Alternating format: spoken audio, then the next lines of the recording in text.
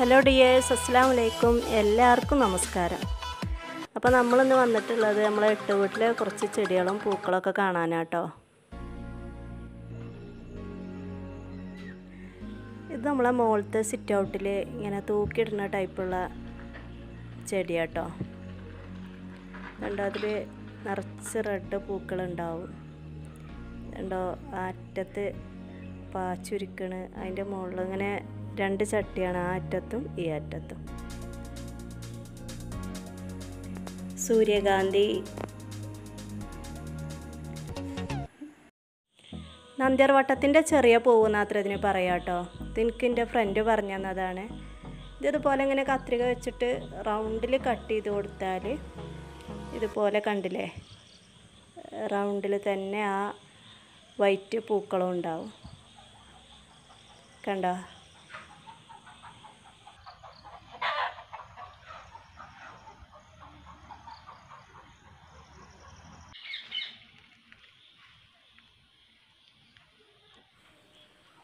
ഇതിന് അസ്രമില്ല എന്നാണ് പറയുക കേട്ടോ നാല് മണി മുല്ല എന്നും പറയും. കാരണം അതൊരു വൈകുന്നേരങ്ങളിലാണ് ഇത് വിരിയുക ഇത് നല്ല സ്മെല്ലാണ് കേട്ടോ അതിന്.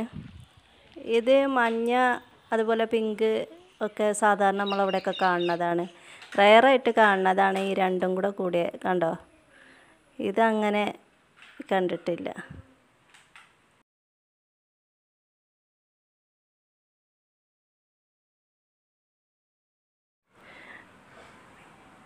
ഈ പൂവിന് കാശിത്തുമ്പ എന്നാട്ടോ ഇവിടെയൊക്കെ പറയാം.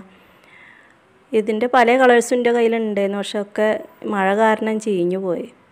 ഇപ്പോൾ ഒരു റെഡ് മാത്രമേ ഉള്ളൂ. പിന്നെ അത് ചെമ്പരത്തി പോലെ ഓറഞ്ച് അതിന്റെ റെഡ്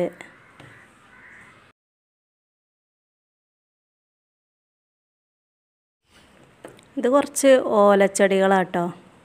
പൂക്കളൊന്നും വിരിയില്ല പിന്നെ അതുപോലെ ഒരു പുല്ല് ഒരു ടൈപ്പ്. രണ്ടൊക്കെ ഓലച്ചെടികളാണ് ഇതിലൊന്നും പൂക്കൾ ഉണ്ടാവില്ല പിന്നെ ഇത് മാസം മാറി എന്ന് പറയും. പഴയ പണ്ട് കാലത്ത് ഉണ്ടായിരുന്ന ചെടിയാണ്. പിന്നെ ഇത് ഒരു മുള്ളു പോലത്തെ ചെടി. അതിന്റെ നാല് കളേഴ്സ് ഉണ്ട് എന്റെ അടുത്തിട്ട് ആ മുള്ളിന്റെ ചെടി.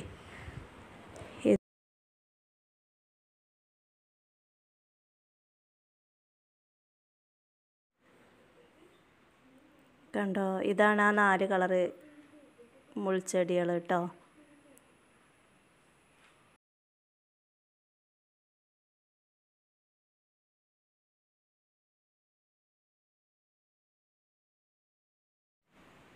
ഇത് സീനിക രണ്ട് കളറ്.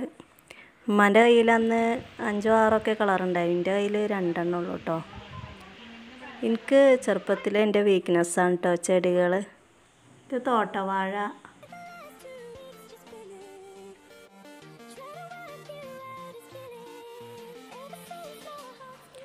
ഇത് നിത്യ കല്യാണി കേട്ടോ ഇതിന്റെ മൂന്ന് കളറുണ്ട്. Light pink dark pink white.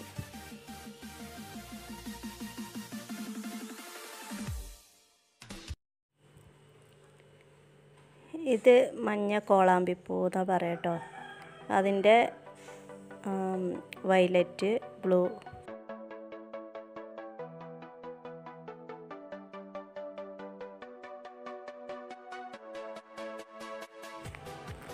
ഇതിന്റെ പേര് എനിക്കറിയില്ല. നല്ല ഭംഗിയുണ്ട് കാണാൻ. ഇത് മുസാണ്ട. അത് രണ്ട് വിധത്തിലുള്ള പൂവുണ്ട് കേട്ടോ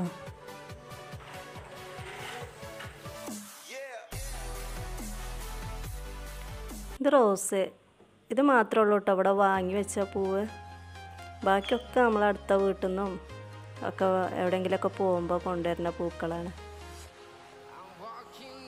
ഈ കൊളാമ്പിപ്പൂ ഇങ്ങനെ മരത്തിൽ കെട്ടി വെച്ചിട്ട് ഇങ്ങനെ റൗണ്ടാക്കി എടുക്കുക ഒരു കയർ വെച്ചിട്ട് ഇങ്ങനെ പടർത്തി കൊടുത്താൽ ഇങ്ങനെ റൗണ്ടായിട്ട് ഉണ്ടായി വരും കേട്ടോ അതുപോലെ നമുക്ക് നിലത്ത് വെച്ചിട്ട് ചെറുതാക്കി കട്ട് ചെയ്തിട്ട് അങ്ങനെ പറ്റും. ഗേറ്റിങ്ങലൊക്കെ ഇങ്ങനെ റൗണ്ടായിട്ട് വെക്കാനും പറ്റും കേട്ടോ ആർച്ച് പോലെ.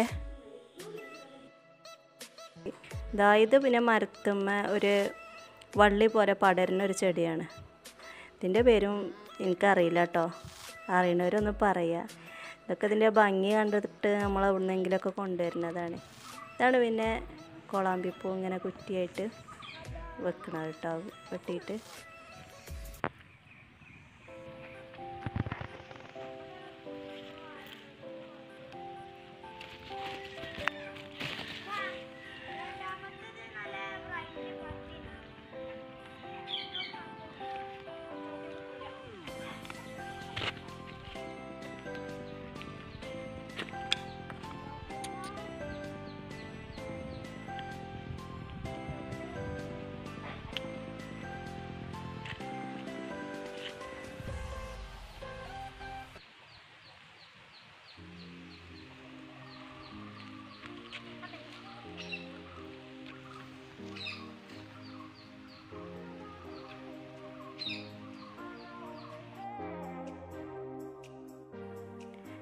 ഇത് പിന്നെ പറയണ്ടല്ലോ. ആന്തൂറിയം എല്ലാവർക്കും അറിയാലോ.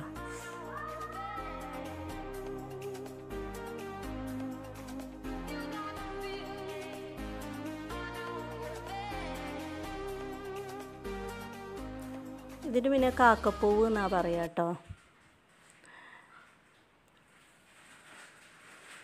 ഇത് സ്നേക്ക് പോള ഇത് വാൾസ് ജമന്തിന്റെ കേട്ടോ വിരിഞ്ഞിട്ടില്ല. ഇത് ആന്തൂറിയം. ഇത് പിന്നെ നമ്മളെ മുള്ളുകളുള്ള ചെടി.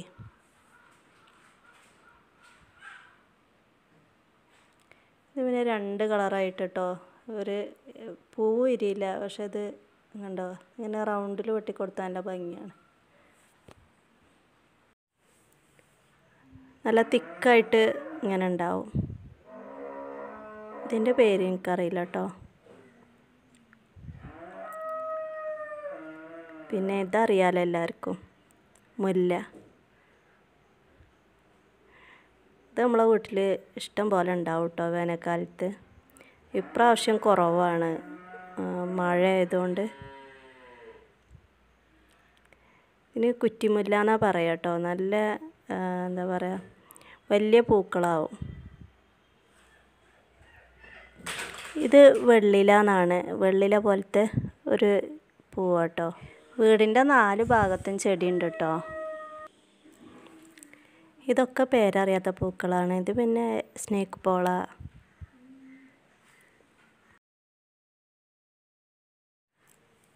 വാൾസ്.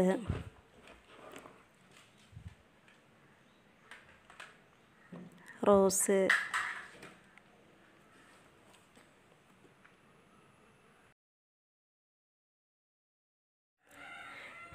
ഇത് പത്ത് മണി മുല്ല. ഇത് അതിന്റെ ഒന്നുകൂടെ ഉണ്ടായിട്ട് തിക്കായിട്ടുള്ള പൂക്കളാട്ടോ. ഇത് ബഡ് ചെയ്തതാണ് റോസിന്റെ രണ്ട് കളറ്.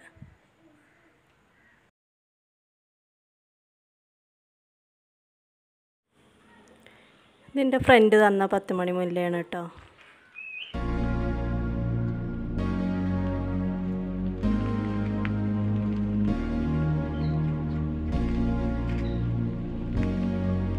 ഇതിന്റെ പേരറിയില്ല. ഇത് നമ്മൾ എത്ര നമ്മളെ തൊടു കൂടെ പോലെ ഉണ്ടാവുന്ന ചെടിയാണ്.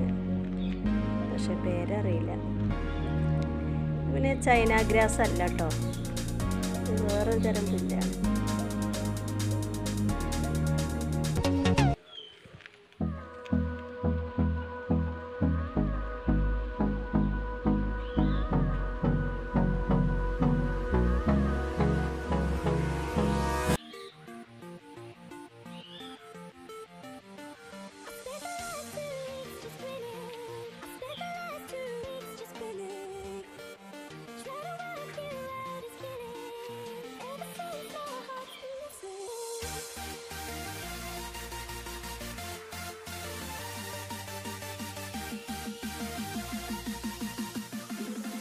ജമന്തി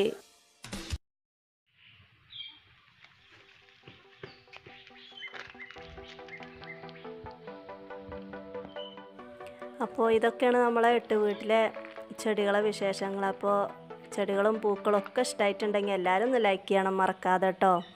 അതുപോലെ സബ്സ്ക്രൈബ് ചെയ്യാനും ഷെയർ ചെയ്യാനും ഒന്നും മറക്കരുത്. പിന്നെ തൊട്ടടുത്തുള്ള ബെല്ലൈക്കണം ഒന്ന് പ്രസ് ചെയ്യാച്ചാൽ ഞാൻ വീഡിയോസ് ഇടുമ്പോൾ തന്നെ നോട്ടിഫിക്കേഷൻ നിങ്ങൾക്ക് കിട്ടും. അപ്പോൾ ഒന്ന് സപ്പോർട്ട് ചെയ്യുകൊണ്ടു അപ്പോൾ അടുത്തൊരു വീഡിയോയിൽ കാണാം.